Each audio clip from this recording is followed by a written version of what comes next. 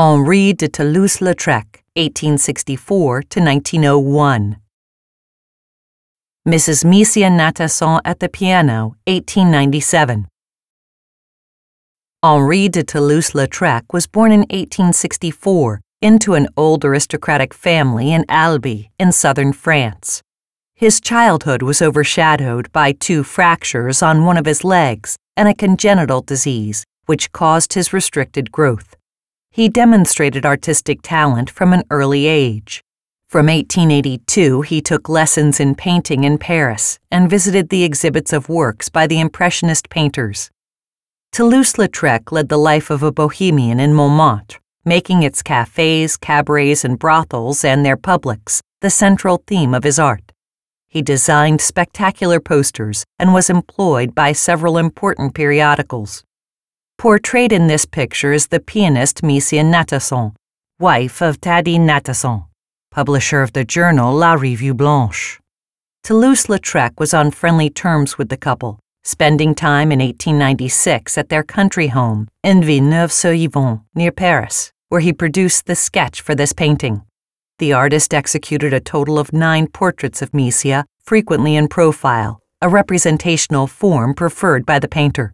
Misia's facial features and parts of her light colored dress are linked pictorially with the lively linear forms of the background, against which the dark shape of her grand piano is emphasized. The hands of the pianist are shown in the center of the image, which may be the reason why the artist referred to the painting as a hand portrait. Misia Natanson was born in St. Petersburg in 1872 and was the muse, friend, and patron of many artists working in Paris. She also sat as model to painters such as Renoir, Bonnard, Vallotton, and Vuillard, and was immortalized in the writings of Verlaine, Mallarmé, Proust, and Cocteau. In 1905, she married the wealthy publisher of periodicals Alfred Edwards, later becoming the wife of the Spanish painter Josep Maria Sert in 1920. It may well be that in our painting, Misia Natanson is playing the chorus of dervishes from Beethoven's Ruins of Athens, arranged for piano by Camille Saint-Saëns.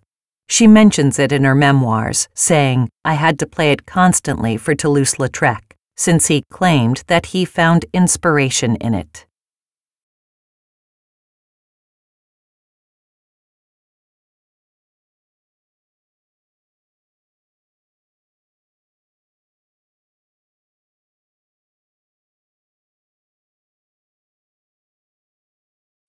Visit the Museum of Fine Arts Bern and see the original works, and download the free app Museen Bern from the App Store.